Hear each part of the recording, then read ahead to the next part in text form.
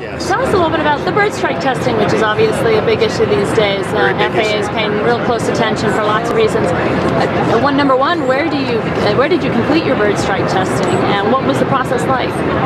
Well, we had a plan in place that obviously was changed with the new guidance from the FAA, Yeah. um, where we could no longer support certification through the analysis process, but actually had to run the test. Yeah. Um, we ran the test and we successfully passed the test.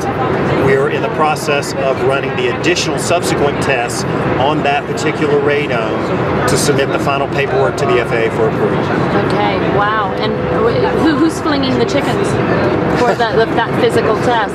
The physical test was in California. It was.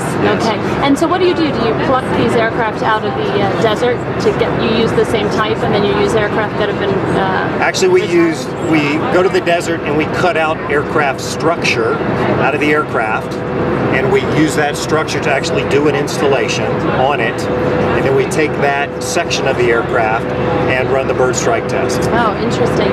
And some in-flight connectivity providers are looking to do the testing um, through virtual simulation that Right. don't want to go through the lengthy process of what you just described um, because it takes a long time when you have multiple aircraft in your fleet.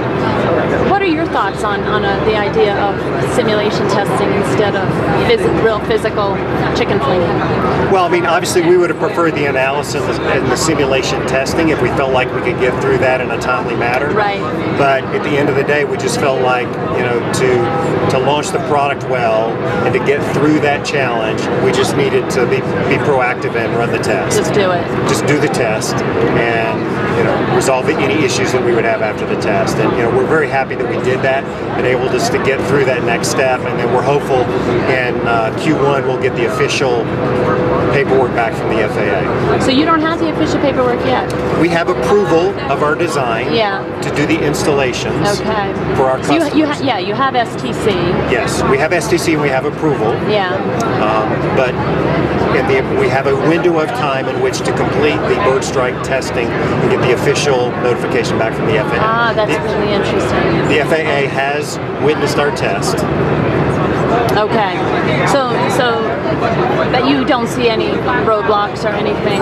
Every, you think everything is going to be We're very comfortable with where we are with the testing that we've done so far. Okay, okay. So, uh, are there other customers to be won here in the United States for this KA service? Obviously, there's a lot of airlines out there with the GoGo service, but do you think you might be able to convince some of them to come over to KA?